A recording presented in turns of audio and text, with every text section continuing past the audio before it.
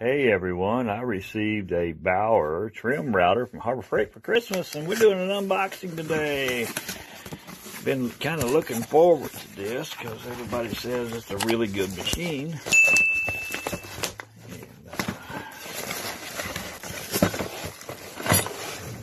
and this thing is really nice.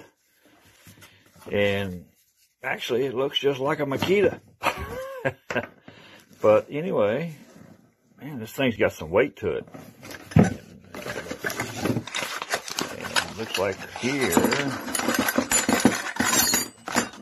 have a box of goodies go on it. So, yeah, head on over to Harbor Freight. Get you a Bauer trim router. These things are really nice. Bye.